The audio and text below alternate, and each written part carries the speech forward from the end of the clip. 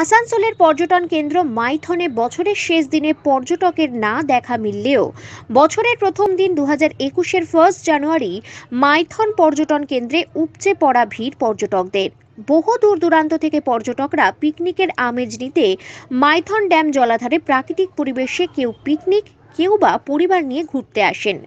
নতুন বছর ফার্স্ট জানুয়ারিতে মাইথনে পর্যটকদের ভিড় উপচে পড়া চিত্র ধরা পড়ল আমাদের ক্যামেরায়। খুশি নৌকা চালকরাও। পর্যটকরা মাইথনে ঘুরতে এসে নৌকা বিহার করছেন। তাতে অর্থ উপার্জন হচ্ছে। নৌচালকদের কারণ সারা বছরের এই সিজনের দিকে তাকিয়ে বসে থাকেন নৌ চালকরা গাড়ি আসছে। তিনটা দুটো থেকে গাড়ি ঢুকছেই।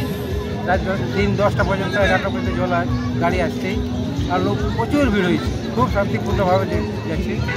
প্রতি বছর যেমন ভিড় হয় সেরকমই হয়েছে? হ্যাঁ, সেরকমই হয়েছে। সুন্দর লোক আসছে যাচ্ছে কোনো লোকের কোনো অসুবিধা হয়নি। পুলিশ শাসন দিকে খুব ভালো সুবিধা দিচ্ছে কি নাম। আমার নাম হাসান আনসারি।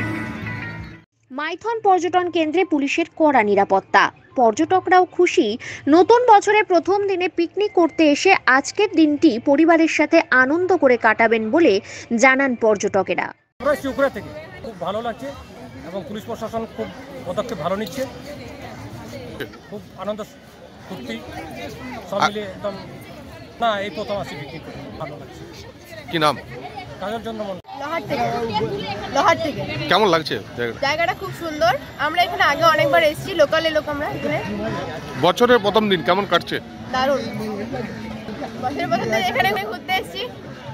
কি নাম? বিউটি মন্ডল